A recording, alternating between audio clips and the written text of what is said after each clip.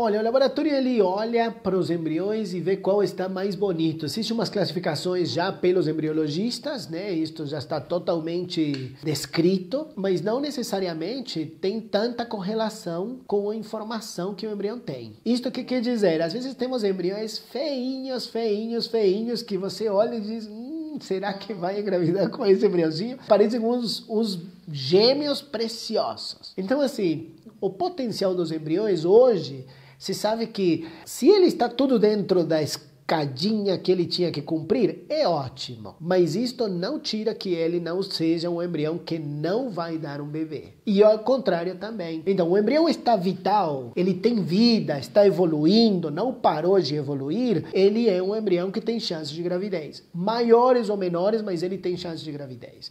Eu já questionei meus biólogos às vezes e falei: olha, este embriãozinho que você me fez transferir, o que tem chances Entramos nos dados e eles falaram, doutor Júlio, um CC, o piorzinho dos blastocistos. Era um blastocisto, mas era o, o, de menor qualidade, o menos evoluído, tudo. Uma menina incrível. Mas eu falei, olha, eu te pergunto, não porque eu duvido de vocês, eu te pergunto porque eu gosto de ter expectativas e esperanças junto com o casal. Eu não transfiro nenhum embrião que eu não acredite que pode engravidar. Então, e é uma menina incrível, preciosa, super linda, que você não acredita.